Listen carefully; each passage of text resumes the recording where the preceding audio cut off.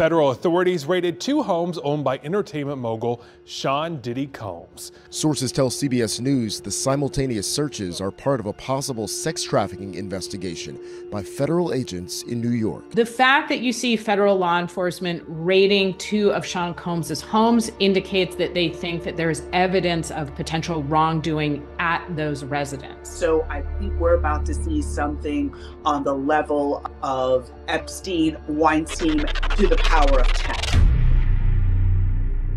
It's time for the world to get justice and see one of the most disturbing music executives get what he deserves. Authorities are raiding Diddy's homes and they've gotten computers, cell phones, hard drives, and much more. But the worst part is that what they found is much more evil than they ever anticipated. So let's get into it.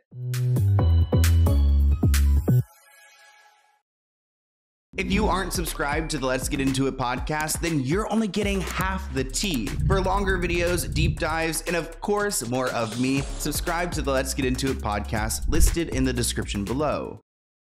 If there's one person I wouldn't want to be right now is P Diddy because things are not looking good for him. And honestly, it is about time. I mean, Sean Combs' home was raided as part of a trafficking investigation. This is not a movie. This is not fake news. This is the dark side of Hollywood unraveling in front of our eyes. Officials raided two of Diddy's homes on Monday. A law enforcement source confirmed to Rolling Stone that it was part of a federal will trafficking investigation led by the Homeland Security. Keep in mind that this raid happened about four months after Cassie first came forward, and I have to give a lot of props to Cassie. Even though she did settle her case, she opened the doors to a lot of people paying attention to his dark past. Footage of the scene appeared to show some men, later identified as Diddy's sons, Justin and King, detained and waiting outside their home. Officials were also present at Diddy's Miami residence. Diddy was in Florida at the time of the raid. Officials reportedly seized his phone before the Bad Boy Records executive was scheduled to leave for a trip to the Caribbean. When I first saw that news, I thought he was trying to depart and escape. And can you imagine if he ran away from all of this? But uh, uh I really don't think he had any idea this was coming and probably was really caught off guard and probably really scared at what they're going to uncover because it might actually be worse than what they're even initially looking for. Federal authorities raided two homes owned by entertainment mogul Sean Diddy Combs. Armed authorities could be seen at his estates outside of LA as well as in Miami. Now, this comes after multiple months of sexual misconduct allegations against Combs the way that they're raiding that home is giving hostage it's giving military like there's gonna be some like victims that are leaving his property i mean god forbid all right they just made their way in Growing concerns today after armed Homeland Security agents raided the LA and Miami homes of music mogul Sean Diddy Combs Monday. Sources tell CBS News the simultaneous searches are part of a possible sex trafficking investigation by federal agents in New York. The way that this is getting so real, I mean, especially in my recent videos, we've made a lot about these people coming forward about Diddy. I mean, remember that one guy he hired like this escort who like randomly died? It's one of my more recent videos on Diddy, but this all kind of like is starting to add up. I mean, I'm curious to what they uncover. The fact that you see federal law enforcement raiding two of Sean Combs's homes indicates that they think that there's evidence of potential wrongdoing at those residences. You can see people in handcuffs outside of Combs's California property, though no sign of Diddy himself. Not the handcuffs. We love to see the justice served, though, but I'm curious to what exactly the crimes will be. A source says four Jane Does and one Jane Doe already sat for interviews with the Southern District of New York investigators for a probe related to trafficking, domestic violence, and racketeering. And supposedly there are more scheduled, like more interviews, so even more people to talk. Homeland Security expert Hal joined Fox 11 during breaking news coverage and said there have been allegations that he had been drugging young women and that the agency is likely looking into alleged crimes committed in multiple states. Hal added some evidence they're looking for include laptops, flash drives, anything that would connect Sean Combs with the allegations. In addition, he says obtaining a search warrant of this magnitude requires a lengthy process and that working with state and local officials was required. So it's not like, oh, willy nilly, like P. Diddy, let's go check it out. We've got some allegations. Like they had to go through a lot of approvals to do this and then to like, you know, just show up up on him to retrieve their evidence. The feds are doing raids at three different homes of P. Diddy, including his homes in California, in Florida, and in New York. And what I think they're looking for are videos. So basically, P. Diddy had a habit, allegedly, based on told to us through the filings by uh, Cassie Ventura.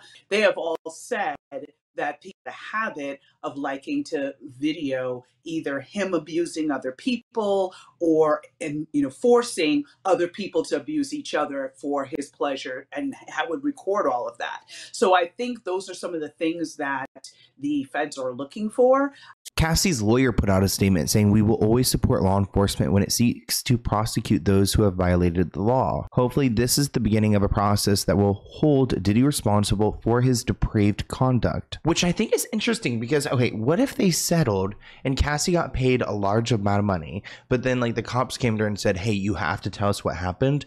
Can she keep the settlement money and also like tell them what actually happened? Because that is an interesting balance between the two. An attorney named Tyrone said, It's about damn time. Sometimes justice delayed is not justice denied as long as justice ultimately arrives. Which I love that quote. And I think it's important that eventually there will be justice. And some people call it karma, but I think, you know, it, it shows that like there is a right side and a wrong side. And even though, you know, Diddy's been able to be on the wrong side for so long, it's going to eventually get right and he's going to get his punishment. Alex Christine, this right here, it is is the lawsuit. It is 75 pages of just shocking allegations. Many legal experts say the accusations are very similar to those of Jeffrey Epstein's case the Southern District of New York, I think it's the same office that has tried to pro- or has prosecuted Donald Trump. So they do not go easy on anyone. They are one of the most prestigious in the country. If they're bringing a case against him, Diddy has a lot to worry about. Keep in mind, it's not just Cassie. There are multiple women and men who were all forced into Diddy's sick,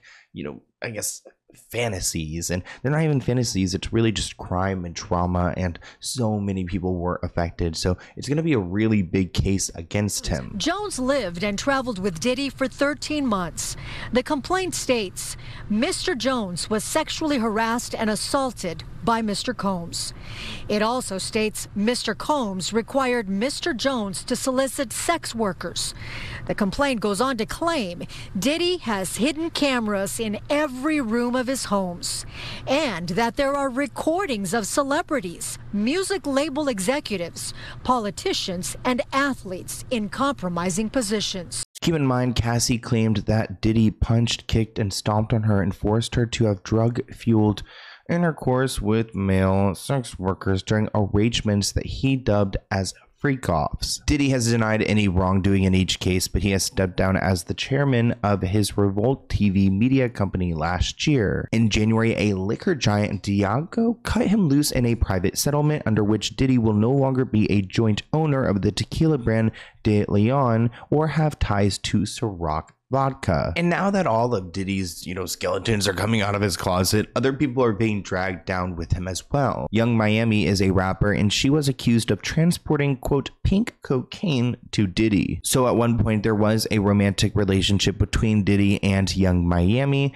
and they dated for about a year. Now, of course, they are no longer dating, but Lil Rod put in a lawsuit and he's got some allegations in there, including some about Diddy's son, Justin Combs. Rodney Jones, also known as Little Rod, sued the music mogul earlier this year for SA and harassment. He reportedly worked as a videographer and producer for Diddy. During his employment, Lil Rod alleges that Diddy used multiple methods in attempt to groom him into relations. Those methods reportedly including groping his privates, parading around naked, and um, harming him. I guess uh, we assault from associates connected to and directed by Diddy. In the initial filing, Lil Rod accused a cousin of Young Miami's of SAing him. Oh, God. According to court documents, City Girls rapper allegedly got pink cocaine, which is a mix of ecstasy and and coke and would bring this to Diddy kind of as a little like drug mule. Now Young Miami isn't the only one getting dragged into all of this because Lil Rod has a bunch of different interesting stories that he wants to share about Diddy and what he witnessed. Lil Rod alleges Diddy was quote grooming him to pass him off to his friends.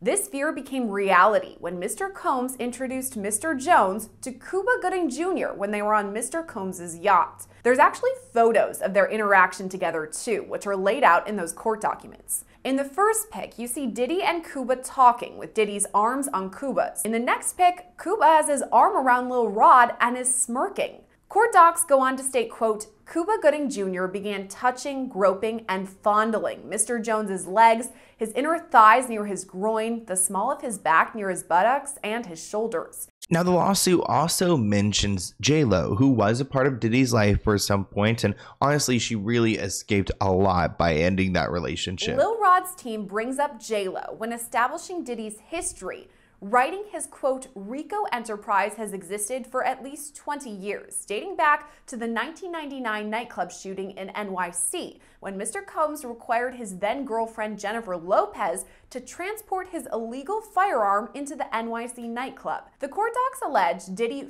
forced his then artist Shyne to assume responsibility for the shooting of several individuals. Now, you guys may agree that Lil Rod is exposing a lot. There's more because he says that Diddy would bring prostitutes to his home in Miami, and on one occasion, he was present at the house and was drugged and possibly R worded. There's also evidence that he included. There's one photo of Diddy with an underage female and another underage female just hanging around him. He also alleges that at parties, Diddy intentionally served women bottles of his tequila and vodka brands laced with drugs. And of course, there are other allegations like Diddy bringing underage girls to his home and providing them with drinks. Diddy's lawyer, Shawn, said Lil Rod is nothing more than a liar who filed a $30 million lawsuit shamelessly looking for an underserved payday. His reckless name dropping about events are pure fiction and simply did not happen. Yeah, he's got the evidence. Yeah, he's got the evidence. Okay, maybe that's why they're being so aggressively defensive here. Diddy actually claims that he's a victim of cancel culture and he's trying to dismiss this lawsuit. Diddy has taken a new stance in hopes to persuade the judge to dismiss these lawsuits where he's been accused of participating in a gang R word, which is a really big ask of him to you know, have the balls to go and ask the judge to say, hey, yeah, you want to dismiss this because I'm just, you know, I'm just famous and I'm being targeted by cancel culture. Diddy and his team believe the allegations made against him have caused irreparable harm to the defendants' reputations. Quote, the lawsuit has resulted in them becoming victims of the cancel culture frenzy in courts, well before any evidence has been presented on the basis of rank. So really, this lawyer can make up any excuse he wants to, but I think it's about time that Diddy is in trouble. So um, I want to hear what you guys think in the comments below. And of course, we're going to be staying right on top of this story and tell you guys what happens next. But let's go ahead and open this P.O. Box package item. It says it's from shipping clerk. So I don't know like what that is. But if you guys ever want to send me a P.O. Box package item, I have my address listed below. Let's go ahead and see. Maybe there's a note. Okay, so it looks like I got a lot of skincare. So we've got this like anti-perspirant underarm wipes. And then we wait, we've got these anti-sweat wipes, which is like really interesting. Okay. And it looks like this brand is called Carpe. Carpe, cute. Oh my god, I'm so excited. SPF primer, underarm lotion. Oh my gosh, I'm gonna have to try this and tell you guys what it's like. We've got a scalp syrup. Oh my god, do you guys know that I have dry scalp? Because it's looking obvious. Oh my gosh, you guys sent me so much. I don't even Oh, it smells really good though. This is so nice. Thank you. So it looks like this product, oh, there's so much of it. It looks like these products are made for like sweaty people like me. Women's powder. We've got like hand lotion, anti-sweaty. We've got like anti-sweaty face lotion. Like, wait, I'm the sweatiest person ever. How did you know? We've got, oh, breast lotion. What does that mean? Breast lotion. I guess you put it on your boobies? Sweat absorbing thigh lotion for the ones with the thick ones like me. If you don't follow me on Instagram, I do have a thick ass. I I'm gonna have to definitely give some to a friend, but thank you so much, Carpe. I will list you guys below because I definitely like, especially at the gym and stuff. I sweat so much on my hands that I can't even like pick up the weight. So, you know, the weights. But uh, thank you so much. I really appreciate all of this, and I'll see you guys in a new video soon. Bye, guys.